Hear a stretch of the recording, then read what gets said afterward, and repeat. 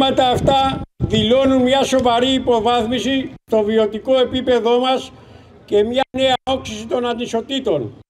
Τα φτωχότερα νοικοκυριά αναγκάζονται να μειώσουν την κατανάλωση βασικών αγαθών. Σε αυτές τις συνθήκες ο καθένας θα περίμενε, θα περίμενε να δίνονται σημαντικές και αποτελεσματικές προσπάθειες περιορισμού των εισαγωμένων και χώριων πληθωριστικών πιέσεων και αποτροπής μια γενικευμένης εκτείναξης των τιμών. Στην Ελλάδα όμως η κυβέρνηση επαναπαύθηκε σε καλάθια, σε επικοινωνιακές διαδικασίες ελέγχους της κερδοσκοπίας και σε θερμαλιστικές περί μηδενικής ανοχής στον πληθωρισμό της απληστίας. Η είναι Ανατολικής Ευρώπης και η αυξήση είναι Δυτικής Ευρώπης. Συνάδελφοι, συναδέλφισες, με την ορμή των τελευταίων μεγάλων αγώνων δίνουμε και σήμερα το παρόν στη νέα απεργιακή μάχη. Η απεργία στις 28 Φλεβάρι ήταν μία από τις μεγαλύτερες των τελευταίων ετών. Συνένωσε τον αγώνα των εργαζομένων στο δημόσιο και ιδιωτικό τομέα, των αγροτών, των φοιτητών, των αυτοαπασχολούμενων σε ένα μεγάλο πανελλαδικό μέτωπο ενάντια στην πολιτική της κυβέρνησης, των επιχειρηματικών ομίλων και της Ευρωπαϊκής Ένωσης εξέφρασε την γενεκευμένη αγανάκτηση που υπάρχει μέσα στα σπίτια μας, αλλά και την οργή για την προσπάθεια συγκάλυψης των ευθυνών από την κυβέρνηση της Νέας Δημοκρατίας για το έγκλημα των τεμπών. Εμείς όμως επιμείναμε και επιμένουμε.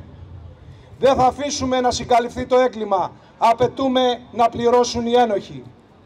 Η σκητάλη λοιπόν στη νέα σημερινή απεργιακή κινητοποίηση περνάει από τις μεγάλες μάχες που δόθηκαν από τους εργαζόμενους στο δημόσιο και ιδιωτικό τομέα, τους αυτοαπασχολούμενους, τους βιοπαλαιστές αγρότες, την νεολαία σε μια σειρά από μέτωπα.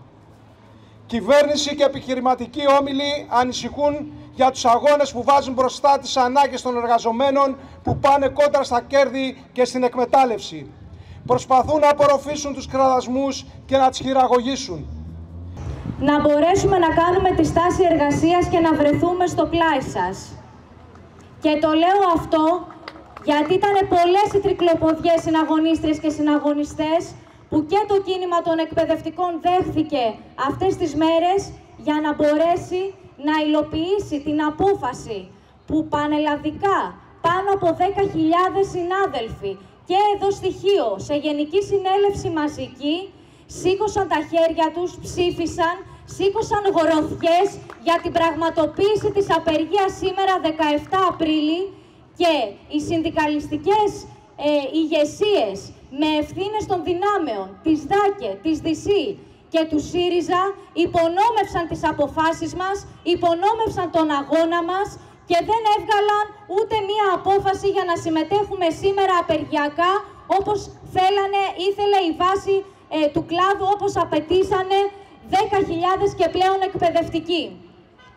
Παρά λοιπόν τις τρικλοποδιές, εμείς οι εργαζόμενοι δηλώνουμε από κοινού εδώ ότι έχουμε τη δύναμη να αγωνιστούμε μέχρι τη νίκη.